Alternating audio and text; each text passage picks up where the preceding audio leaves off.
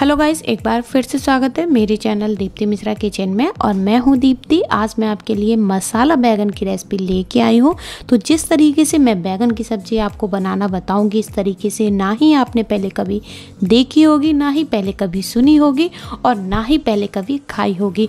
बिल्कुल यूनिक तरीके की आज मैं आपके लिए मसाला बैगन की सब्ज़ी की रेसिपी लेके आई हूँ। तो आज ही आप इसे अपने घर पर ज़रूर से बनाइए और वीडियो पसंद आती है तो मुझे कमेंट सेक्शन में बताना बिल्कुल भी ना भूलें। और चैनल पर नए हैं तो मेरे चैनल को सब्सक्राइब भी ज़रूर करिएगा।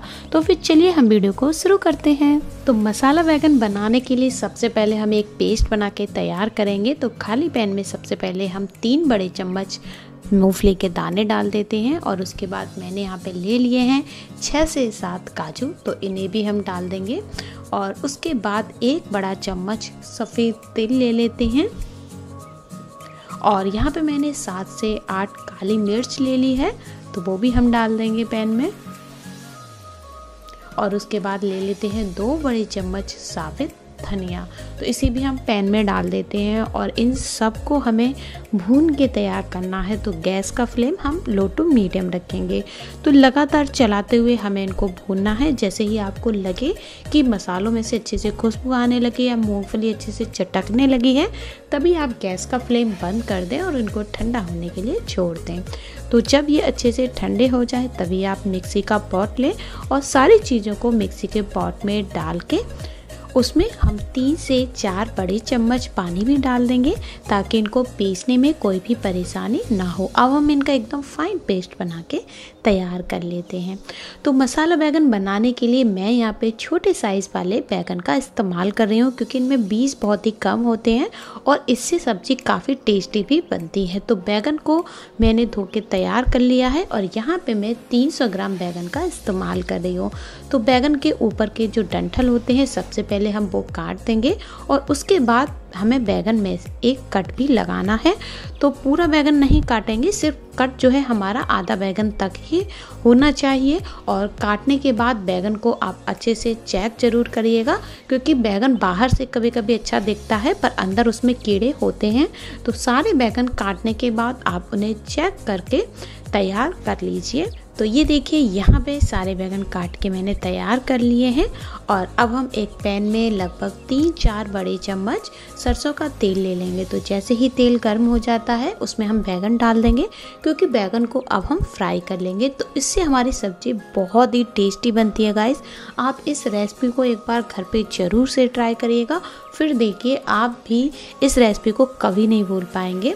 तो ये जो बैगन है, इन्हें हम अलटते पलटते हुए लगभग आठ से दस मिनट के लिए फ्राई करेंगे, क्योंकि बैगन है, इनको फ्राई होने में थोड़ा सा समय लग जाता है। तो टोटल दस मिनट हो गए हैं, और अब देखिए बेचारे बैगन की क्या हालत हो गई है। पिचक के अब एकदम बिल्कुल छोटे छोटे से हो गए हैं। तो जब आपके बैगन भी ऐसे हो जाए, आप इन्हें तेल में से बाहर निकाल लीजिए और गैस का फ्लेम बंद कर दीजिए। तो अब हम चलिए सब्ज़ी को बना लेते हैं। तो उसके लिए हम कढ़ाई में दो से तीन बड़े चम्मच सरसों का तेल ले लेंगे। तो जैसे ही तेल गर्म हो जाता है, इसमें आधा छोटा चम्मच सरसों के दाने डाल देते हैं और एक छोटा चम्मच मेथी दाना डाल देते हैं। तो दोनों को हम अच्छे से चटका लेते हैं। तो बैगन बादी होता है, इसलिए हम इन दोनों का इस्तेमाल करेंगे। और उसके बाद मैंने यहाँ पे दो बड़े साइज़ के कटे हुए प्याज ले लिए हैं तो इन्हें भी हम अपनी कढ़ाई में ऐड कर देते हैं। और उसके बाद मैं यहाँ पे तीन से चार हरी मिर्च का इस्तेमाल कर रही हूँ, वो भी डाल देते हैं। और एक बड़ा चम्मच जिंजर गार्लिक का पेस्ट डाल देते हैं। सारी चीज़ों को पहले हम अच्छे से मिक्स कर देंगे। और उसके बाद हम इसमें करी पत्ते डालेंगे। तो करी पत्ते इसमें बहुत ही ज़रूरी है। आप एक बार ट्राई ज़रूर करिएगा, आपको बहुत ही पसंद आएँगे। तो अब हम क्या करेंगे? अपने जो प्याज है और जिंजर गार्लिक का पेस्ट है, इन सबको अच्छे से भून लेते हैं। तो इनको भूनने में लगभग छः से सात मिनट का समय तो लग ही जाता है। मीडियम फ्लेम रखेंगे, ज़्यादा हाई फ्लेम पे हम इनको नहीं भूनेंगे। तो जैसे ही आपके प्याज में हल्का सा गोल्डन कलर आने लगे, तभी हम इसमें डाल देते हैं टमाटर टमाटर का पेस्ट। तो यहाँ पे जो ये टमाटर का पेस्ट है, इसे मैंने तीन बड़े साइज़ के टमाटर से बना के तैयार कर लिया है। आप चाहे तो बारीक कट करके भी टमाटर डाल सकते हैं और ग्रेट कर कर भी टमाटर का इस्तेमाल कर सकते हैं। तो सारी चीज़ों को अच्छे से मिक्स कर लेंगे और जब तक हमारी ग्रेवी में ऑयल छूटना स्टार्ट नहीं हो जाता है, तब तक हम ग्रेवी को अच्छे से पकाएँगे। क्योंकि ये मैं आपको हमेशा ही बताती हूँ कि अगर आप ग्रेवी को अच्छे से पकाएँगे तो आपकी सब्ज़ी सुपर टेस्टी तो ज़रूर बनेगी। तो ये देखिए ग्रेवी ने ऑयल छोड़ना शुरू कर दिया है। इसका मतलब है कि हमारे टमाटर भी अच्छे से अब पक चुके हैं। तो अब हम अपनी ग्रेवी में पेस्ट को ऐड करेंगे, जो पेस्ट हमने पहले ही बना के तैयार करके रखा है।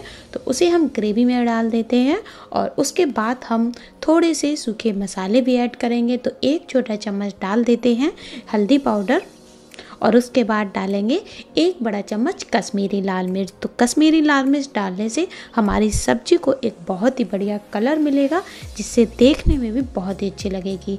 उसके बाद डाल देते हैं एक छोटा चम्मच आमचूर पाउडर और अब हम सारे मसाले को ग्रेवी में अच्छे से मिक्स कर देंगे और ध्यान रखें, इस समय आप पानी बिल्कुल भी ऐड मत करिएगा, वरना ग्रेवी पकने में और भी ज़्यादा समय ले लेगी। तो हम इसको इसी तरीके से ही पकाएँगे। गैस का फ्लेम बिल्कुल लो ही रखेंगे, क्योंकि हमने मसाले सूखे डाले हैं और पानी बिल्कुल भी ऐड नहीं किया है। तो लगातार चलाते हुए आप अपनी ग्रेवी को अच्छे से पकाइएगा। अगर ग्रेवी अच्छे से पकेगी तो आपकी सब्ज़ी भी काफ़ी टेस्टी बनेगी। तो लगभग पाँच से छः मिनट हो गए हैं। ग्रेवी ने ऑयल को सेपरेट करना फिर से शुरू कर दिया है और अब देखिए ये कढ़ाई को भी छोड़ने लगी है। तो हमारी ग्रेवी पक के एकदम तैयार हो गई है और इसी स्टेज पे हम इसमें पहले से तैयार किए हुए बैगन जो हैं, उन्हें हम ऐड कर देंगे। और अब हम सब्ज़ी में नमक डाल देंगे। तो नमक आप अपने टेस्ट के अकॉर्डिंग डाल सकते हैं। उसके बाद मैं इसमें एक कप पानी ऐड कर देती हूँ, क्योंकि मैं इस सब्ज़ी को थोड़ी सी पतली इसकी ग्रेवी बनाना चाहती हूँ। अगर आप गाढ़ी ग्रेवी वाला पसंद करते हैं तो आप पानी की कंसिस्टेंसी अपने हिसाब से एडजस्ट कर सकते हैं। तो सारी चीज़ों को हम अच्छे से मिक्स कर देंगे और गैस का फ्लेम मीडियम कर देंगे और लगभग सात से आठ मिनट के लिए हम अपनी सब्ज़ी को थोड़ा सा और पका लेंगे। तो पकाने के लिए कर देते हैं इसको लिड से कवर और छोड़ देते हैं सात से आठ मिनट के लिए। तो अब देखिए जो सब्ज़ी है, इसने ऑयल को छोड़ना फिर से शुरू कर दिया है। आप देख ही सकते हैं कि ऑयल ऊपर आ चुका है। सब्ज़ी बनके हमारी एकदम तैयार है। आप इस तरीके से मसाला बैगन एक बार ज़रूर से ट्राई करिएगा। तो ये देखिए, आप देख ही सकते हैं कि सब्ज़ी में थोड़ी सी ग्रेवी भी है। अगर आप थोड़ी सूखी रखना चाहते हैं तो पानी कम डालिएगा। तो मसाला बैगन बन के एकदम तैयार है। लास्ट में हम इसमें हरे धनिया से इसको गार्निश कर लेते हैं और चलिए फिर अब हम इसको सर्व कर लेते हैं। तो ये बहुत ही ज़्यादा टेस्टी लगती है। उम्मीद करती हूँ कि ये रेसिपी आपको बहुत ही ज़्यादा पसंद आई होगी। अगर वीडियो पसंद आया है तो इसे लाइक शेयर करना आप बिल्कुल भी ना भूलें और मुझे कमेंट करके ज़रूर बताइएगा कि आपको ये रेसिपी कैसी लगी और मेरे चैनल दीप्ति मिश्रा किचन को सब्सक्राइब भी ज़रूर करिएगा। तो फिर मिलते हैं एक नई वीडियो के साथ। तब तक के लिए bye bye and take care